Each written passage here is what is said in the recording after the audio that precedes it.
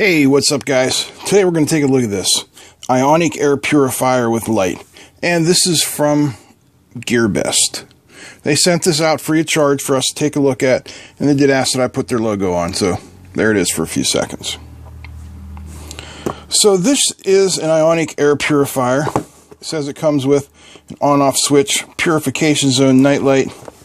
Look at the side, it says model BYKJY68 Rated voltage for Europe AC 220 to 240 to 50 hertz. For USA or Japan 100 to 120 volts 50 60 hertz.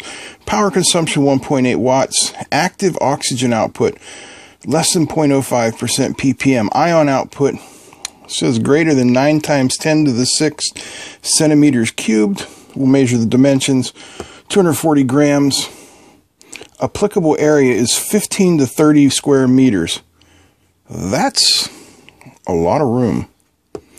Uh, attaching plug, European, Chinese. I believe this one says on here somewhere we'll find it is an American plug. So, does it say that? Yep, over here. Blue US plug, made in China, uses advanced aerionic movement technology, soundless design, no motor, cordless electric plug. Okay. 1.8 watts, easy to clean dust collector. That might be good. All right, let's uh, open it up and see what's inside.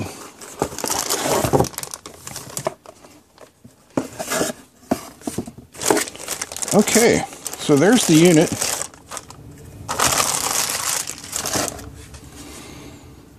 And it is very small.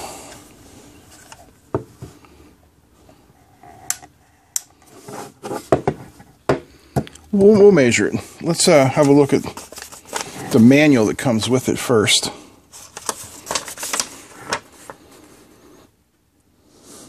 Anion mysterious function. Okay. I don't really see anything. Okay, improvement is in lung function. Wow, they're they're advertising a lung function increase of 20%. Improvement in sleep. Improves metabolism. Well, you can tell this hasn't been uh, approved by the FDA, you know, because that, that shit would never fly. All right, let's uh, plug it in. We're going to have to move over here a little bit. I'm going to have to go handheld. All right, the time isn't right. You'll have to ignore that. I just took that out of the drawer. It's been sitting in there for quite some time.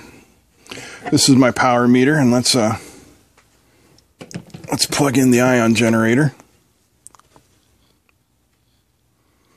This doesn't look like it's drawing any current in the standby. Turn it on here. That's the lowest setting. And it appears still not to be drawing any current, which is interesting. So let's turn it up. Well, that appears to be its fully on position. And still, you can see it's drawing no current and power factor of 0, 0.0. 0.1 watt. That's total.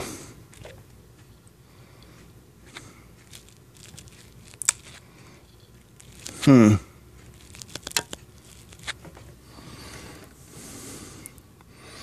I really expected to be seeing a some sort of power draw there. That's kind of making me wonder a little bit. Well, of course, we're going to have to take it apart, so we might as well just get into that. Now, I don't know about you guys, but I'm pretty curious to see what's actually in here. Because my understanding of a uh, ionic air purifier is that there should be a um, voltage multiplier in here consisting of some diodes and some capacitors, right? Isn't that your understanding too? So what it should be doing is it should be driving that voltage up to thousands of volts where it can be discharged as a, a coronal discharge, thereby charging the nearby air particles and making them heavier where dust will connect to them or collect to them or be attracted to them. I guess that's the proper word. Dust will become attracted to them and then they will fall to the ground. But perhaps this is uh, something different. Even I mean, even if it's an ozone generator, there's got to be some power draw, right?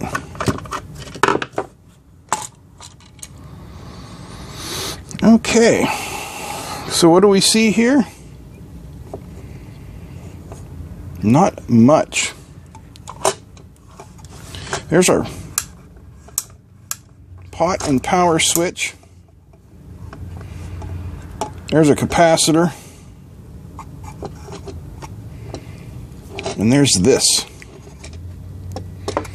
which appears to be potted in there. So, let me find the right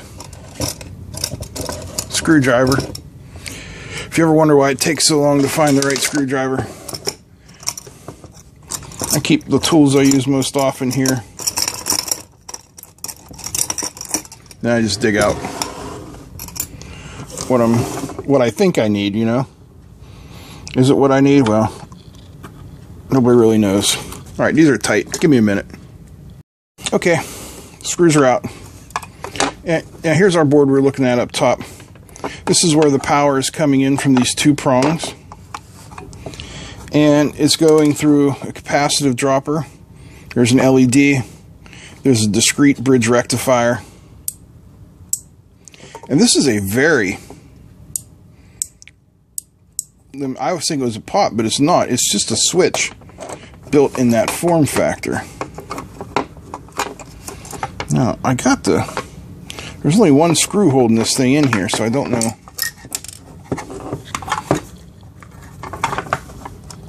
What else could be possibly holding it in? Unless it's glued. Which is, I guess, possible. Give me a second, we'll see what we can figure out with getting that big chunk out.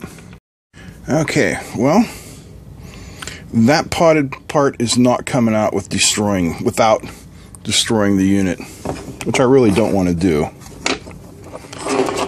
And we're not going to see anything within there anyway, it's all entirely enclosed. But what you can see here are these very sharp points.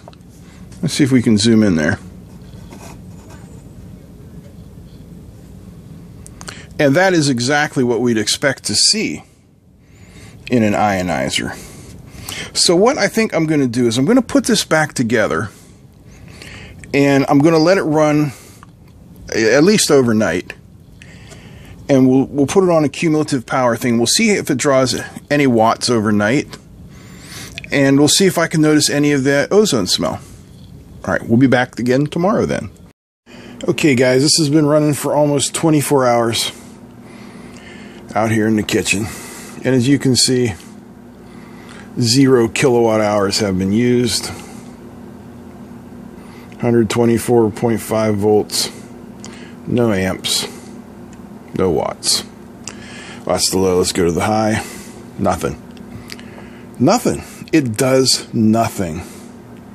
Really, I don't know what to say about this other than it doesn't do anything. It draws no power.